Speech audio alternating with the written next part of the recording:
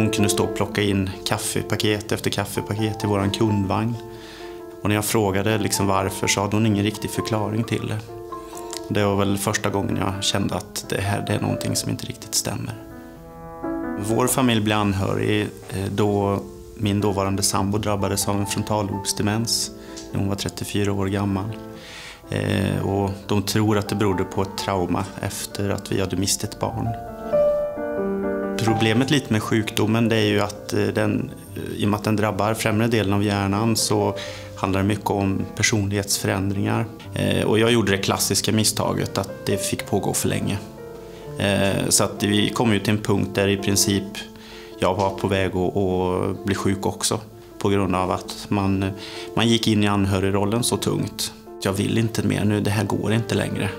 Jag kände själv att min kropp nu börjar på att säga stopp. Alltså med, med att jag inte sov överhuvudtaget till exempel.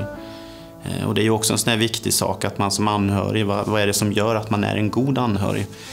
Och det tycker jag liksom börjar med att man eh, ser till att man själv faktiskt mår bra.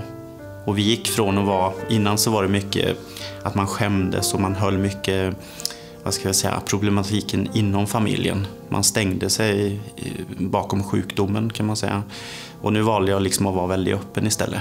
Så att jag berättar för arbetskompisar, för eh, skolan, vänner, släkt och så vidare. För det tyckte jag var jätteviktigt och det var, kändes jätteskönt att få berätta vad som verkligen hade hänt.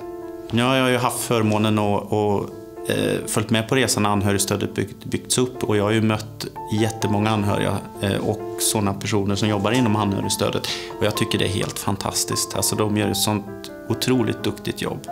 Och det här handlar mycket om mjuka värden som eh, eh, som anhörig som är så viktiga och att det finns där. För man blir ju väldigt ensam som anhörig. Man tycker ju att man är ensam om det här i hela världen. På anhörigstödet så möter du personer, delvis som jobbar där men också andra anhöriga.